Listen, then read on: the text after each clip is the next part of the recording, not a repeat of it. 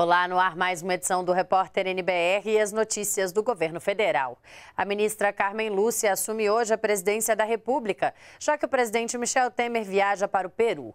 O repórter Ney Pereira está na base aérea de Brasília, onde ocorre a transmissão oficial de cargo e traz os detalhes. A transmissão do cargo é aqui na base aérea de Brasília. A presidente do Supremo Tribunal Federal, ministra Carmen Lúcia, assume nesta sexta-feira e deve ficar no cargo até este sábado. Ela fica na presidência do país porque o Brasil não tem vice e os presidentes da Câmara e do Senado também estão em viagem ao exterior. Hoje e amanhã, o presidente Michel Temer participa da Cúpula das Américas em Lima, no Peru. Durante o evento, os chefes de Estado e de governo vão discutir temas de interesse comum. De Brasília, Ney Pereira. E como disse o Ney, a Cúpula das Américas começa hoje em Lima, no Peru. Além de participar da abertura oficial do encontro, o presidente Michel Temer também terá encontros bilaterais. O repórter Paulo La Sálvia está na capital peruana e traz os detalhes. O presidente Michel Temer desembarca nesta sexta-feira aqui em Lima, no Peru, para a abertura da oitava Cúpula das Américas. O principal dia do encontro é neste sábado. É quando os chefes de Estado e de governo discursam nas sessões plenárias. O discurso do presidente Michel Temer está previsto para ter uma duração de sete minutos. Além da participação na oitava Cúpula das Américas, a agenda do presidente Michel Temer conta com reuniões bilaterais com os presidentes de Honduras, Juan Orlando Hernandes, e do Chile, Sebastião Pineira. Outro encontro que deve ocorrer aqui em Lima, no Peru, é com o presidente da Câmara de Comércio dos Estados Unidos, Thomas Donohui. De Lima, no Peru, Paulo La Sálvia. E o presidente Michel Temer realizou ontem uma reunião com a nova equipe ministerial para alinhar os trabalhos.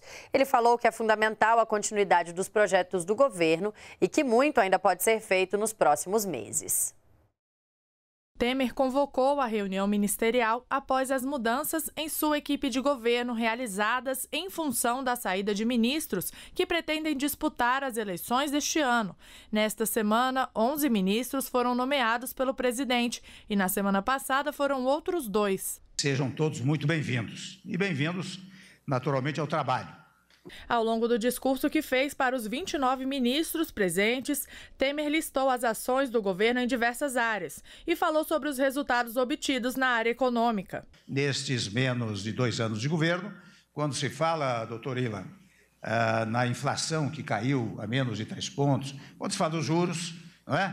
que estavam lá num patamar elevadíssimo e vieram a patamares jamais observados eh, no nosso país, quando se fala do teto dos gastos públicos e vejam que nós estamos obedecendo ao teto de gastos públicos. Isto gera confiança e credibilidade. Não é? E é a confiança e credibilidade que gera os patamares recordes que têm sido obtidos pela, pela Bolsa de Valores. O presidente Michel Temer fez questão de pedir continuidade dos projetos aos novos ministros e destacou que ainda há muito trabalho a ser feito nos nove meses que restam ao governo. O que os senhores vão fazer, e muitos já estão, já estavam no Ministério, os senhores vão é dar continuidade ao trabalho que vem sendo uh, desenvolvido.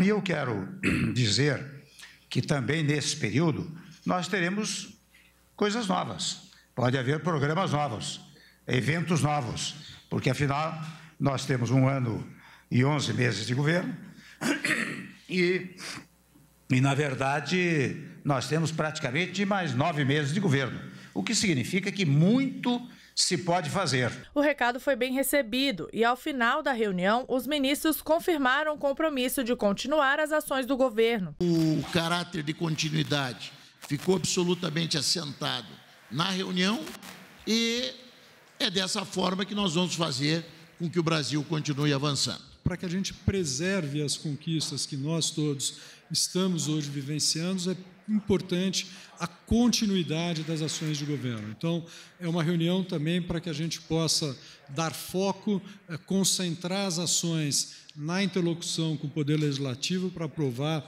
temas importantes que estão em discussão. Então, esse foi o sentido dessa reunião.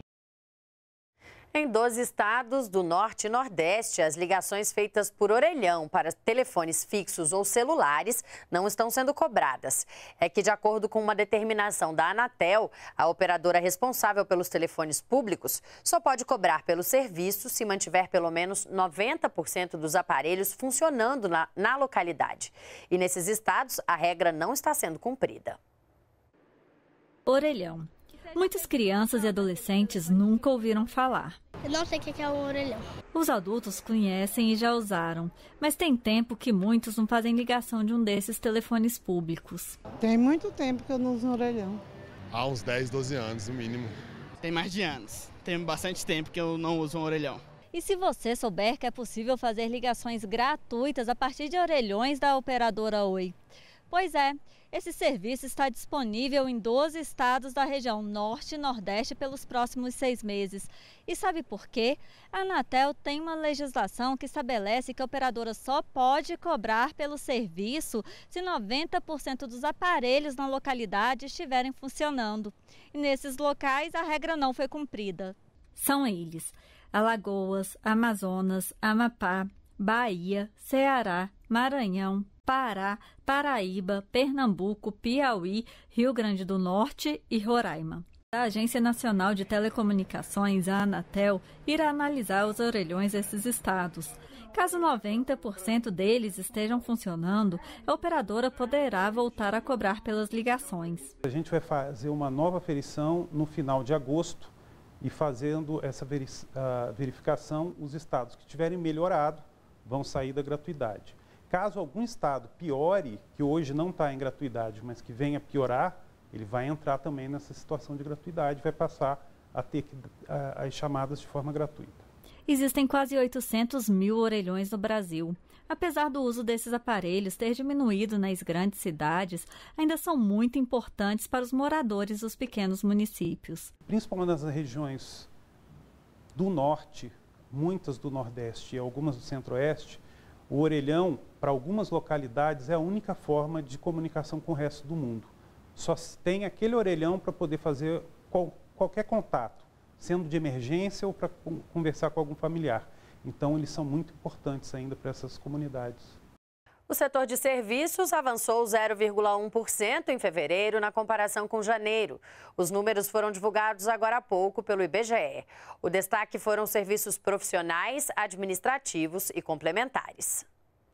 Nós ficamos por aqui. Você pode rever as reportagens no YouTube. E toda a nossa programação também está na página da NBR na internet. Continue com a gente na NBR, a TV do Governo Federal.